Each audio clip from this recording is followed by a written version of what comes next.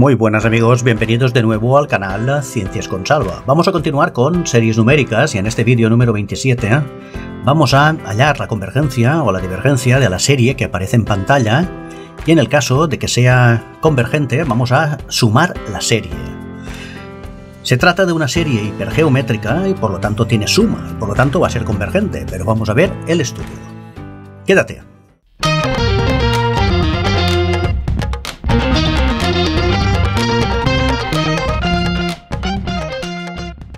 Bien, aquí en el ejemplo nos dice sumar la siguiente serie mediante progresiones hipergeométricas.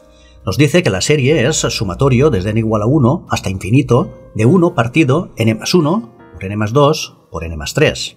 Bien, las series hipergeométricas son series que cumplen lo siguiente.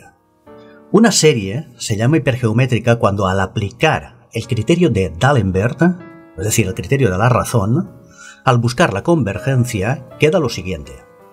Nosotros sabemos que cuando aplicamos el criterio de D'Alembert lo que hacemos es dividir a sub n más 1 entre a sub n. Y después tenemos que calcular el límite de lo que nos queda. Si nos queda algo parecido a lo que nos aparece en pantalla, un valor numérico alfa por n más otro valor numérico beta dividido alfa por n más otro valor numérico gamma, entonces evidentemente el límite este tiende a 1 cuando n tiende a infinito. Esto es una progresión hipergeométrica. Vale, por lo tanto, si nosotros tenemos que alfa es mayor que 0, que es una de las condiciones, que gamma sea distinto de 0 y que alfa más beta sea distinto de gamma, siempre teniendo en cuenta de que alfa, beta y gamma pertenezcan a los números reales, entonces si alfa más beta es menor que gamma, tenemos que alfa más beta dividido por gamma es igual a r, y ese r es menor que 1, que sería la razón. Por lo tanto, en este caso la serie converge. Sin embargo, si alfa más beta es mayor que gamma, alfa más beta dividido por gamma es igual a r, y en este caso r es mayor que 1. Por lo tanto, la serie diverge. Eso es lo que tenemos que tener en cuenta. Bien, Vamos allá. Tenemos lo siguiente. A sub n más 1 dividido a sub n es igual a 1 dividido n más 2 por n más 3 por n más 4, es decir, donde hay n hemos, hemos sustituido por n más 1, y ya hemos hecho las operaciones, que nos multiplica a n más 1 por n más 2 por n más 3 dividido por 1, que es el, el término general al revés. Bien, haciendo estas operaciones, que son muy fáciles, porque se cancela el n más 2 y el n más 3 con el n más 2 y el n más 3 de abajo, entonces se nos queda n más 1 dividido n más 4. Como veis, tiene la forma de una serie hipergeométrica. Por lo tanto, tiene esta forma, alfa por n más beta dividido alfa por n más gamma.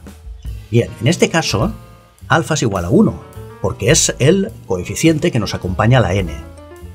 Beta es igual a 1 también, y por lo tanto aquí gamma es igual a 4. Vale, perfecto. Entonces, vamos a ver qué ocurre. Alfa más beta menor que gamma.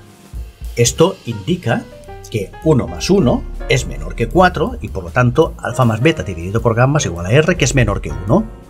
Por lo tanto la serie es convergente. Ya está. Ya está el estudio de esta serie y sabemos que es convergente. Perfecto.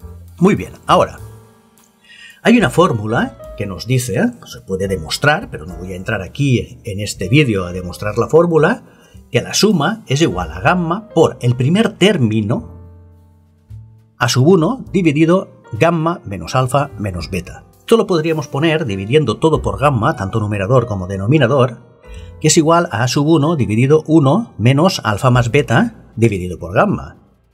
Perfecto, y alfa más beta dividido por gamma sabemos que es la razón.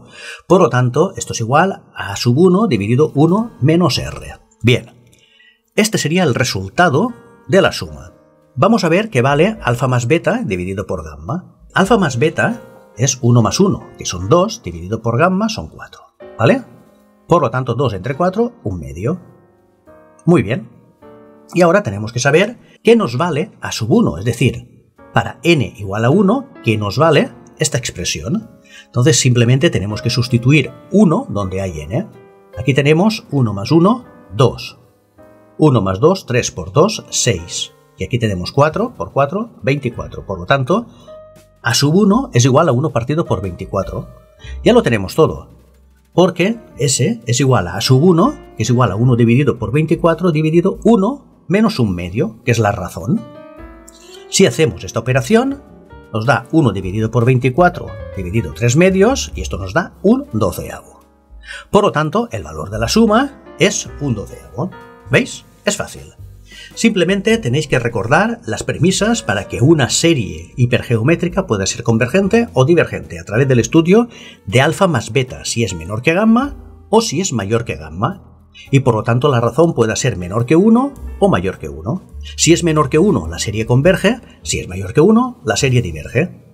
Y aplicando esta fórmula muy sencilla, sacamos el valor final de la suma. Esta serie también la podríais calcular por fracciones parciales. Y os reto a que lo hagáis. Ya tengo un ejercicio, dos ejercicios hechos, previos a este, y por lo tanto, como son factores muy simples en el término general, podríais probar a realizarla por fracciones parciales. A ver qué tal, a ver cómo se van anulando los distintos componentes, y la suma tiene que dar lo mismo, un doceavo. Pero bueno, esto os lo dejo a vosotros. Muy bien, espero que lo hayáis entendido, me hayáis seguido. Si a alguien le interesa de dónde sale la fórmula S igual a gamma por A sub 1 dividido gamma menos alfa menos beta, que me lo deje en comentarios, y haré un vídeo específico demostrando de dónde sale esta fórmula.